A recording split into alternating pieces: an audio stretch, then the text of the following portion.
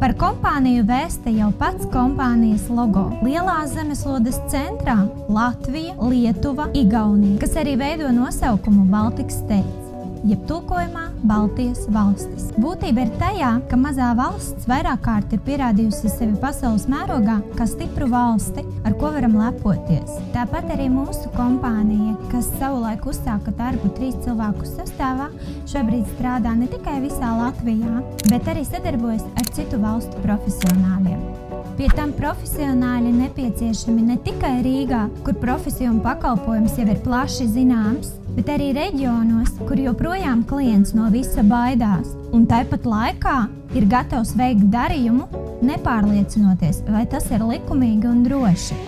Šis darbs nav darbs, tas ir mūsu dzīvesveids, sirdslieta un iedvesma, ko mēs nododam saviem klientiem. Uzticība, kvalitāte, drošības sajūta - tā ir mūsu kompānijas devīze.